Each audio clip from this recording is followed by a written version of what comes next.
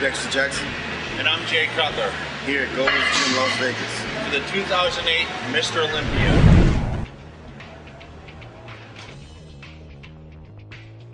It hadn't hit me yet. Still, Jay says it'll take four months, three or four months before it actually sinks in. I was ready for him to say Jay because he said, because he, he said the next person that I call will be Mr. Olympia. So I was ready for him to call Jay, and that's why I was just standing there all nonchalant. I knew Dexter won. I knew he was going to win. He was better on Friday. I came back on Saturday, just a little sharper, but the, uh, the damage was done.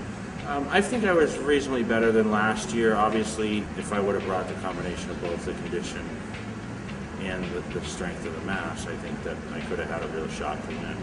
I don't know. I kind of like had mixed emotions until um, we actually Started seeing the guys backstage. You know, as we started pumping up and all that stuff. And, but um, at first, just getting there, you know, everybody's playing mind games and all that stuff. You know, it's typical about the show. You know, but after that, nerves calm. I was pretty much ready to get over with.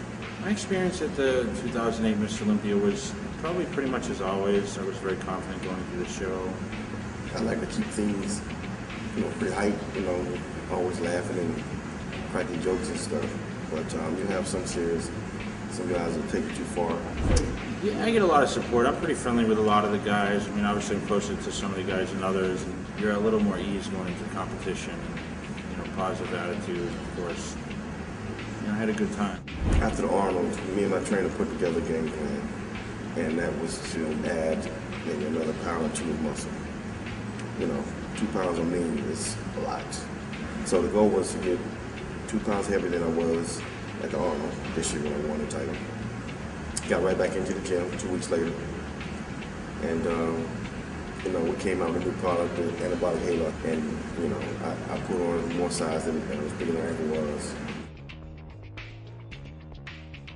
Hydroxycut, everybody knowing those are my main products that I love to take. Hydroxycut, Nitro-Tech, and um, Meso-Tech. But when I started taking Anabolic Halo off season, that is what really gave me that push to put on a couple more, few more pounds to, you know, to, to come in that show bigger than I ever had. Off season, I use a lot more supplements than I do pre-contest because of my travel schedule. I use a lot of protein powders, and a lot of Lukic. Muscle was one of the companies that really has what they say is in the packet. And, um, you know, it really made me feel good. Product that they come out with has new research behind it uh, to do everything it says it does. Being a champion bodybuilder, you want to take in the best quality, everything, the best quality food, supplements, training the best facilities. You want to have everything in line perfectly to be able to be at your absolute best. You know, just let me win this title once. And they can have it back. I'm already thinking like, man, I want to win it. I want to win the show next year because, know, one time just just doesn't do it.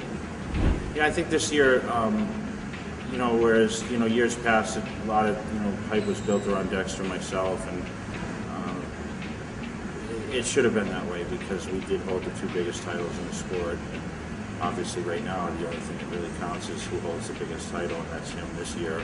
Obviously, next year he has he's the guy that everyone's after, and and uh, you know we look forward to just going at it again. It, it's going to be a battle. I mean, I'm sure you know, Dexter, you know, he's he's focused and he's going to be more driven now with the title. It definitely gives you an edge. You don't want to lose that title. It's an embarrassment to lose that title. Yeah, I, I feel that I still can win the title. The right Jay Cutler physique wins the title back. The biggest change with being Mr. Olympia is definitely the workload that comes the opportunity. This is just an honor to, to, to be friends with Jay, to be able to call him and talk to him, to help me with, you know, lead, being the leader of the sport. You know, um, I'm going to be a great ambassador of the sport. Um, I'm sure Jay will be vintage Jay Cutler next year. He'll be back. There's no doubt about that. I would talk the, the trash that I was going to win. He thought the trash he was going to win. and He got me. And, uh, it's all good. It's all it's all in good fun. I mean, we're both fortunately under the same supplement company, and we spend a lot of time together. We travel a lot together, and now we're the two leaders in our business. I'll put the sugar in his drink, double dose next year. Or take it out, one or the other, because it either worked or it didn't, so. I think it worked. Yeah, I think it worked too. That was. I need to stop doing that. That, that, was pretty good. We'll get it on next year, big boy. We appreciate the support. Bodybuilding is a unique thing. It's a lot of individual what we do, but we both have teams behind us that give us that extra edge, and of course, great sponsors, and and the most important thing is the fans that that keep us hungry and, and keep us motivated, and of course, keep cheering for us. That's probably the most important thing.